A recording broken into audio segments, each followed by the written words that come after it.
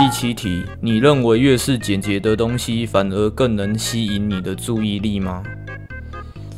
简洁的东西，你是指什么东西啊？大家好，我是红头男，你是正常人吗？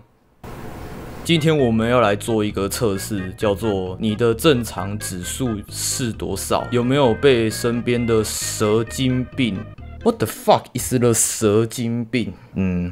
地精语言来测测吧，看你是否还是正常人。单选每题第一个选项加一分，第二个选项加零分，第三个选项加两分。记下你的每题选项，最后算出总分，对照结果看解析。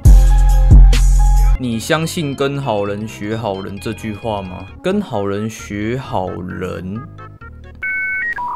跟好人学好人，他的意思是说跟一个好人，把他当做榜样，跟他学习吗？我的国文老师要哭了，我觉得是还好，所以说目前是加零分。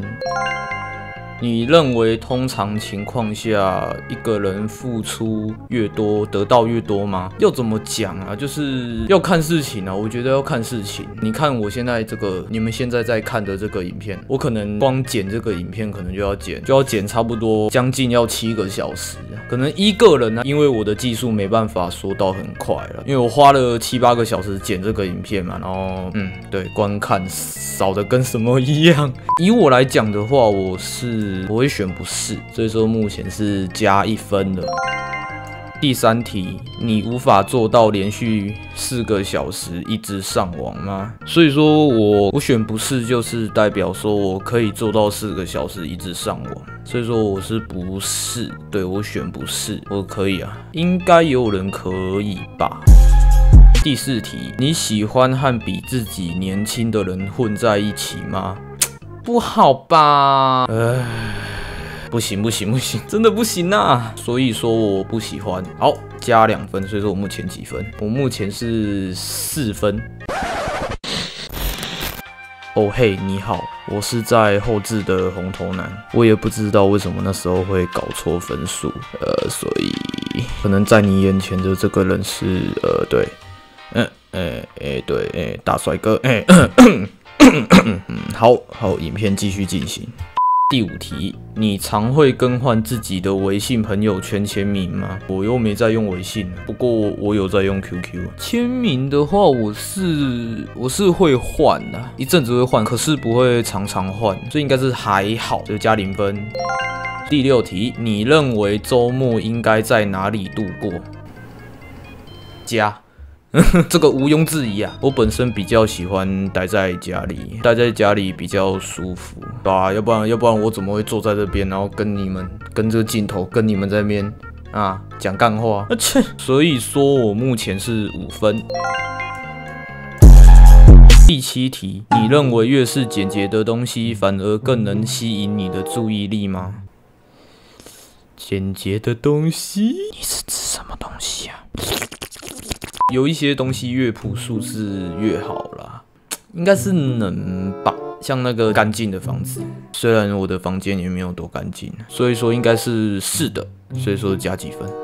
有目前我目前几分啊？五分五分，太离谱了，真的太离谱了。第八个问题，死党欺骗了你，你还会再信任他吗？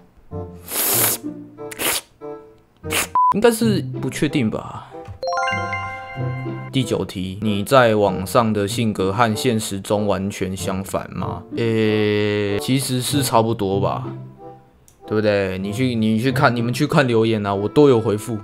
Good good，应该是中间的哦，加一分。所以说我现在是七分。第十题，在事业方面，你喜欢挑战新任务吗？不过就一些事情来讲。现在课业啦，或者是怎样的方面，应该应该是还好啦。所以说一样七分。测验结束了，爱心啾咪。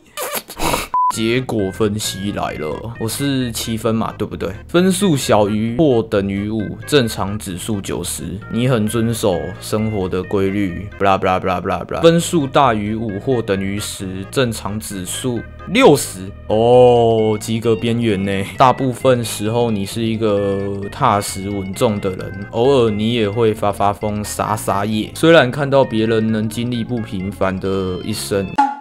分数大于十，小于或等于十五，正常指数三十趴，哇，已经快起笑了。你一会儿一个想法，今天觉得这事真好玩，就玩一会儿；明天觉得这事好玩，又尝试一遍。分数大于十五，小于或等于二十，正常指数十趴哦，你几乎可以算是一个不正常的人。也许有人说你是童心未泯的老顽童，有人又说你是生活艺术。家，你也你也会立刻就调转头去追求其他东西。嗯，其实也是因为有那么多种人才会造就现在的社会所以造就了现在社会的多样化。我是六十趴正常指数了啊，你们是多少呢？在下面留言哦，告诉我哦，我也我会给你爱心的，啾咪。